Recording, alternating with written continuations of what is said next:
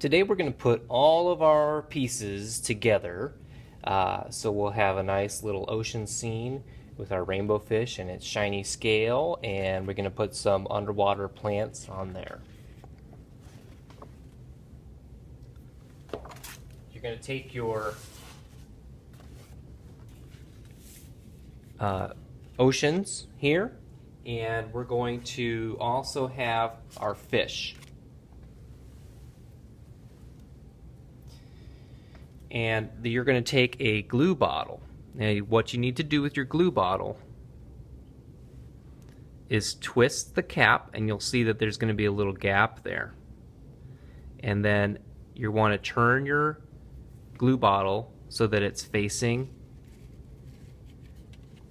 your fish. And we're going to do what I call ladybug dots.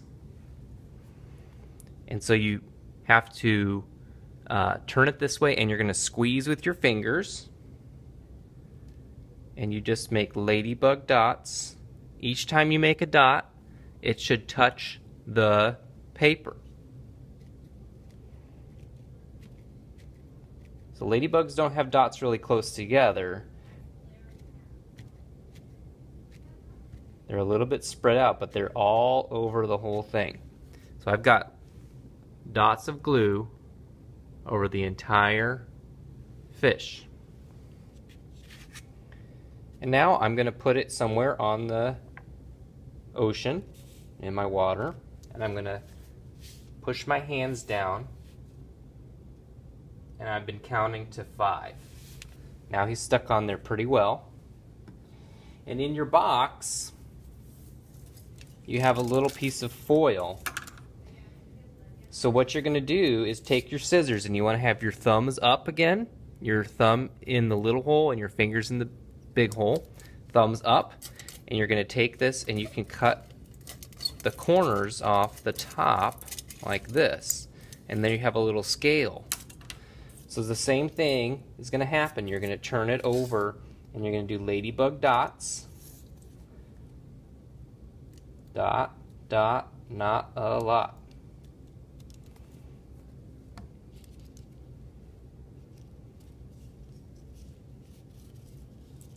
Then I'm going to find a place for it and count to five. Three, four, five. Finally, you can take some strips of tissue paper and you can put them anywhere you like along the bottom of your paper. So the same thing needs to happen. We're going to do ladybug dots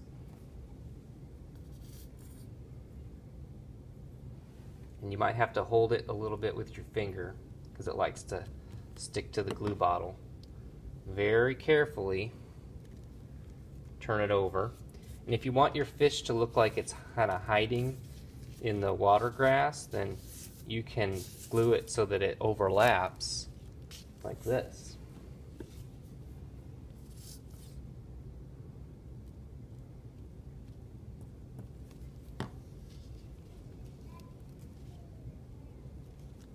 He can kind of hide behind that.